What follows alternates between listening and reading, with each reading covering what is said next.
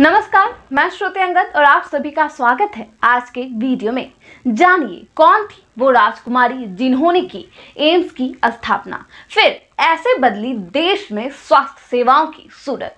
सन 1946 में भारत सरकार की तरफ़ से हुए एक सर्वे में इस तरह के पोस्ट ग्रेजुएट मेडिकल इंस्टीट्यूट की सिफारिश की गई थी, जहाँ इस आइडिया को तो सराहा गया, लेकिन इसके निर्माण में लगने वाली रकम की वजह से चिंताएँ बढ़ गई थी। एम्स यानी all India institute of medical sciences जो हर स्वास्थ्य आपदा में खबरों में रहता है।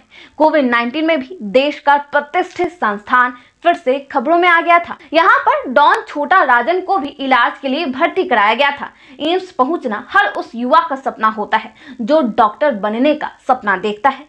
क्या आप जानते हैं कि कैसे इसकी शुरुआत हुई और इसे किसने शुरू किया था? एम्स की नींव डाली थी राजकुमारी अमृत कौर ने। और राजकुमारी अमृत कौर भारत की पहली महिला स्वास्थ्य मंत्री भी थी। 1956 को राजकुमारी ने पेश किया बिल। 18 फरवरी 1956 को देश की तत्कालीन स्वास्थ्य मंत्री राजकुमारी अमृत कौर ने लोकसभा में एक नया बिल पेश किया था। कहते हैं कि जिस समय उन्होंने बिल पेश किया, उन्होंने कोई स्पीच नहीं तैयार की थी, लेकिन उन्होंने जो कुछ भी कहा, उसकी मिसाल आज तक दी जाती है।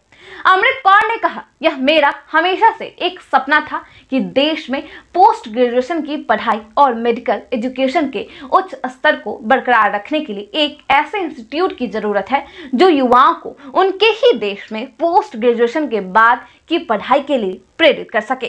इस बिल के पेश होने के एक साल बाद, यानी सन 1946 में, भारत सरकार की तरफ़ से हुए एक सर्वे में इस तरह के पोस्ट ग्रेजुएट मेडिकल इंस्टीट्यूट की सिफारिश की गई थी, जहाँ इस आइडिया को तो सराहा गया, लेकिन इसके निर्माण में लगने वाली रकम की वजह से चिंताएँ बढ़ गई थी।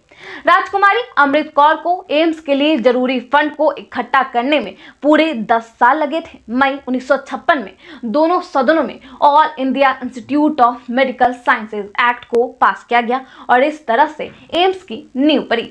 वीडियो अच्छी लगी हो तो वीडियो को लाइक और शेयर करना ना भूलें। अगर यह वीडियो आप हमारे फेसबुक पेज पर देख रहे हैं तो हमारे फेसबुक पेज को फॉलो करें। अगर यह वीडियो आप हमारे यूट्यूब चैनल पर देख रहे हैं तो हमारे यूट्यूब चैनल को सब्सक्राइब करना ना भूलें। धन्यवाद।